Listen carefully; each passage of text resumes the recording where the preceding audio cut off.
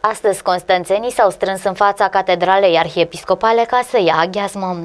Slujba de astăzi precede procesiunea din ziua de bobotează, care va avea loc mâine în portul turistic Tomis din Constanța.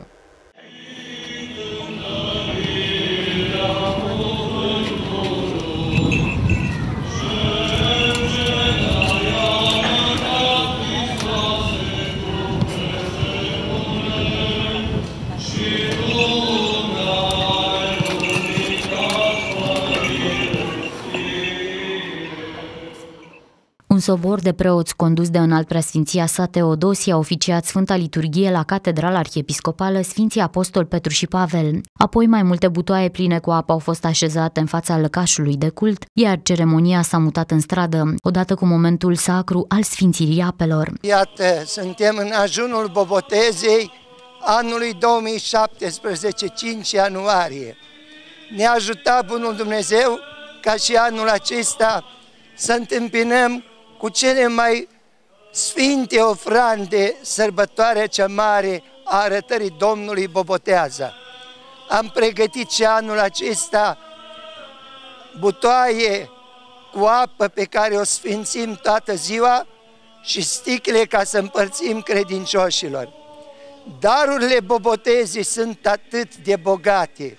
Ele ne umple de sfințenie și pe noi și firea noastră înconjurătoare astăzi toate se sfințesc și luminează însuși Hristos pământul ca făclia cea mai luminoasă. El este soarele dreptății care s-a arătat nouă la Iordan.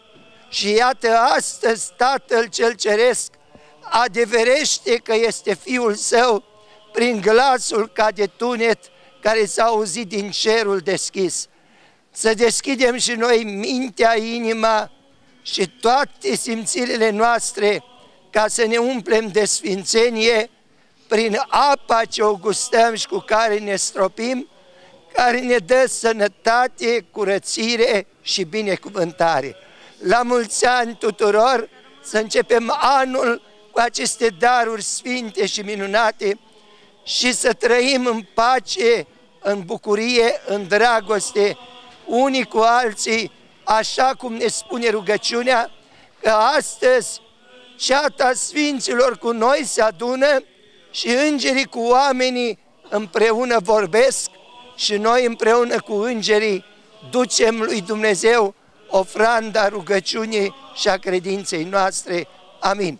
Apa sfințită urmează să fie îmbuteliată în 170.000 de sticle pregătite pentru credincioșii constanțeni. Pentru cei care nu vor apuca să ajungă la malul mării, la slujba de bobotează, ca să-și ia apa sfințită pregătită special de arhiepiscopie. Mâine pe străzile orașului vor circula mai multe care din lemn trase de boi și măgăruși. După sfințirea apelor, credincioșii constanțeni nu au mai avut răbdare să aștepte ziua de bobotează și s-au apucat să-și umple sticlele cu apă de astăzi. Mâine este aglomerat și vedeți cum este și dacă sunt puțin bolnăviară, hai să iau de astăzi, că mâine e la slujbă obligate să fim. Veți veni de și mâine. Cum să rog, Doamne ferește, dar e posibil să lipsești la așa ceva, Doamne.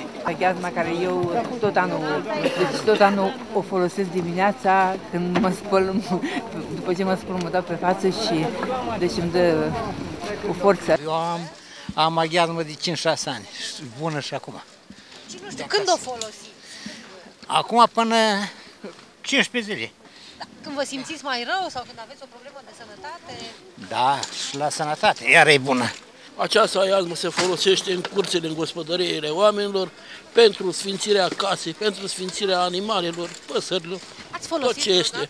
Am folosit, mă simt uh, bine și e bine să, să uh, activăm și să fim prezenți mereu în, uh, în cursul acestei sărbători pentru bunul mers al casei și al omenirii.